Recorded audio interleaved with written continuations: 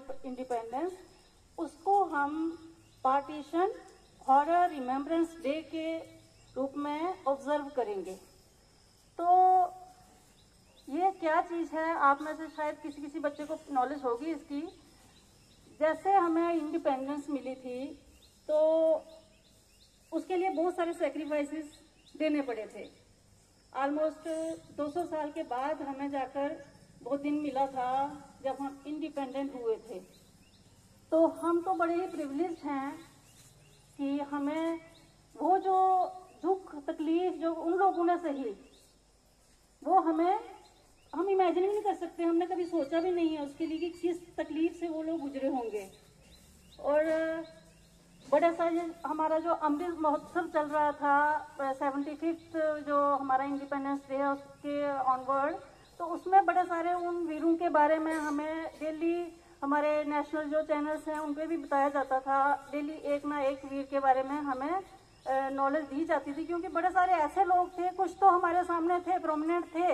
भगत सिंह हो गए, सुभाष चंद्र बोस हो गए, महात्मा गांधी हो गए, उन सबको तो हम जानते हैं। लेकिन बहुत सारे ऐसे लोग थे जिन्होंने सेक्रीफाइसेस दिए, लेकिन हमें उनके बारे में नॉलेज नहीं थी। तो उन सेक्रीफाइसेस के बाद इंडिपेंडेंस तो मिल गई, लेकिन उसका एक हमें बहुत बड़ा जो खामियाजा या नुकसान भुगतना पड़ा, वो क्या था? पार्टीशन हमारा देश दो हिस्सों में बट गया था।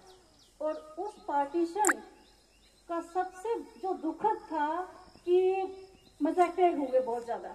इतनी लार्ज स्केल पे लोगों को मारा गया था हम इमेजिन नहीं कर सकते हैं। उस समय जो हमारी पॉपुलेशन थी around thirty two forty crore अगर ऐसे कंसिडर किया जाए तो उसमें से ऐसे माना जाता है जो आंकड़े हैं, ऐसे तो कितने हुए कोई पता नहीं है, लेकिन जो माना जाता है कि around five lakh to ten lakh people जो थे, वो मारे गए थे।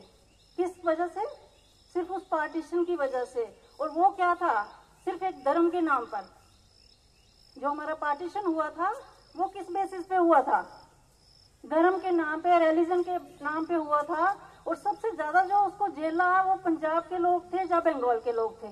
क्योंकि जो माइग्रेशन हुई थी एकदम से अचानक से माइग्रेशन हुई। हिंदू का जो सिख थे, उनका वहाँ से पलायन हुआ हिंदुस्तान में और जो मुस्लिम थे, वो पाकिस्तान की तरफ़ उन्होंने मुख किया था।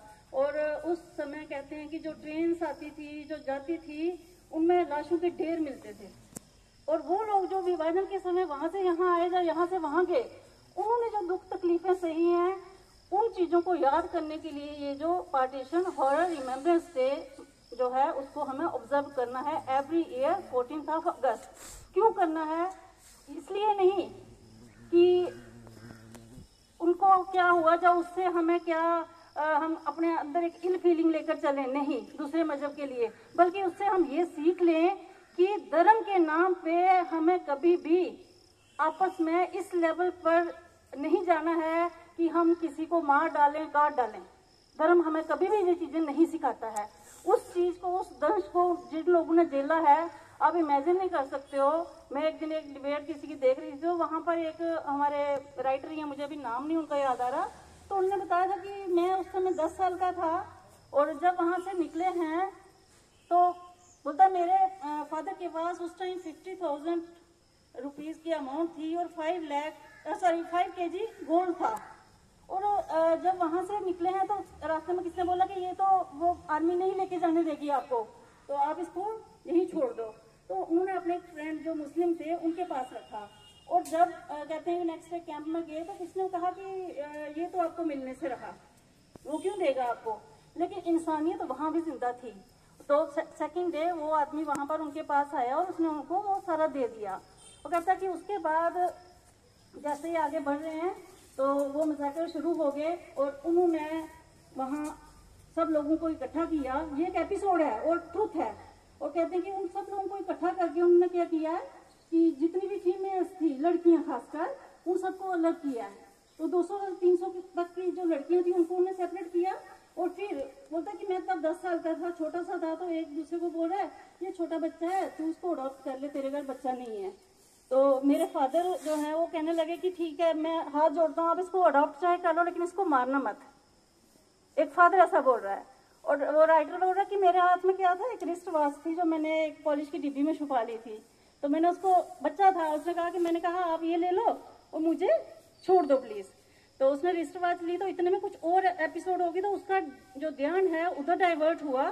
और बोलता मेरे चाचा ने मुझे खींच लिया अपनी तरफ़। और जैसे उन्हें अपने वो कंबल में मुझे छिपा लिया तो बाद में जब वो मारने लगे तो कहता है कि मेरे चाचा को जब उसने तलवार मारी है, और मैं बीच में छुपा था, और मेरी गर्दन से यहाँ से निकली है। आज भी उसको निशान है वहाँ पर। और कहता कि वो पूरा ब्लड मेरे ऊपर से निकल रहा है, लेकिन मैं बोला नहीं। और इस तरह से मतलब मेरे घर के जो ग्यारह लोग हैं, उनको उन्हें मार डाला। और उसके बाद उन्होंने नेक्स्ट प्लेटफॉर्म पे इस तरह से बहुत ज़्यादा बुरा हुआ है। ये तो एक एपिसोड है, पता नहीं करोड़ों एपिसोड ऐसी होंगी, हज़ारों लाखों में ऐसी होंगी। तो हमें उससे एक ही लेसन लेना है कि इन चीज़ों से हमें एक सीख लेनी है, ताकि नेक्स्ट हमारी लाइफ में ऐसी कभी भी स्टेज ना आए, ऐसी एपिसोड ना हो जिसका इतना बड़ा खामियाजा हमें धर्म के नाम पे या किसी और जो छोटे छोटे उन चीज़ों को कंसिडर करके हम मारपीट शुरू कर देते हैं, उसको हम होने से रोक सकें।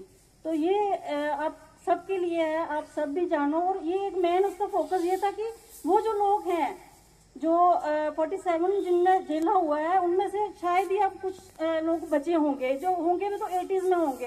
तो एक बहुत बड़ा गैप आ चुका है। हम लोग उस चीज़ को जानते ही नहीं है कि उन लोगों ने क्या सहा। तो वो गैप दूर करने के लिए ताकि हमें ये जो हिस्ट्री है, हमारे दिमाग में हमेशा रहे और हम आपसी भाईचारा, सहयोग जो है, हमेशा बनाकर रखें ताकि ज़िंदगी में हम कभी भी ऐसा नुकसान ना झेलें। तो ये उस डे को सेलिब्रेट सेलिब्रेट तो नहीं कहूँगी ऑब्ज़र्व करने के लिए है। तो आप सब भी अपने घर में जो बड़े बुज़ुर्ग हैं उनसे